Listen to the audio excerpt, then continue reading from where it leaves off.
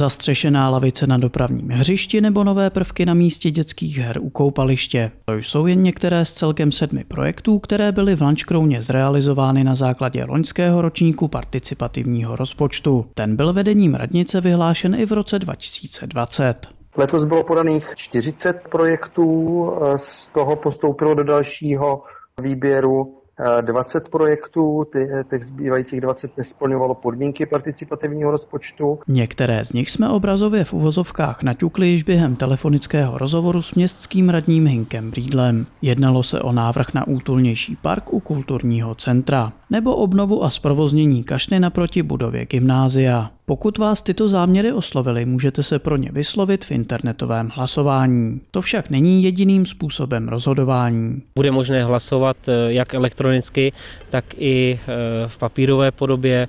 Eh, v v dalším čísle eh, městských novin bude hlasovací formulář. Oprava schodů v průchodu mezi ulicemi Dobrovského a Třešňovecká, rozíbejme dvorské lány nebo zastřešení skateparku. To jsou další projekty, které se uchází o přízeň obyvatele Lančkrouna staršího 15 let. Každý občan může hlasovat pouze jednou. Možnost vybrat si má však z různých návrhů. Vyskytují se tam hodně eh, projekty, které souvisejí se sportem, s volnočasovými aktivitami, přírodou v okolí lančklotských rybníků a podobně. Realizace se dočkají ty projekty, které získají nejvíce hlasů. Zároveň však v celkovém součtu nesmí překročit částku jednoho milionu korun. Tato suma byla z rozpočtu města uvolněna již dvakrát a na této skutečnosti by se nic nemělo měnit ani v příštím roce. Při přípravě rozpočtu na rok 2021 eh, samozřejmě zařadíme eh, další finanční prostředky na Eh,